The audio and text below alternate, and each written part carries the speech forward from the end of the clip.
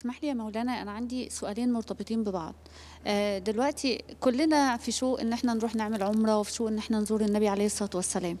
فلما حد من أصحابنا أو قرايبنا بي بيسافر وبيروح فبنشوف ناس وهم بيطوفوا حوالين الكعبة فاتحين live على الموبايل وفي كل في كل الأطواف ماشي بيوري الناس أو بيكلم عيلته في البيت أو بيكلم حد يوريهم أثناء تأدية الفريضة.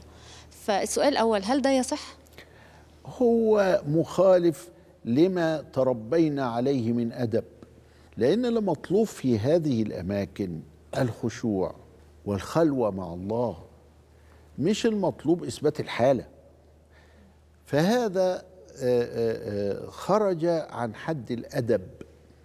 الخروج عن حد الأدب قد يكون حراما لما يكون يعني ثقيل كده وقد يكون مكروها وقد يكون يعني خلاف الأولى لكن بالم... ب... بالجملة سواء ده أو ده أو ده فهو غير مطلوب.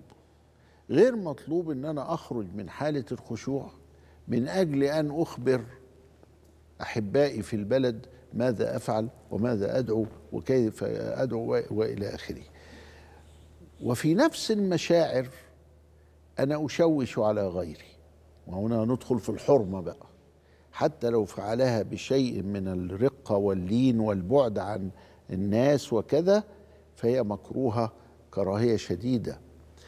فما يفعله هؤلاء الناس نقدر نقول عليه خلاف الأدب مع الله سبحانه وتعالى.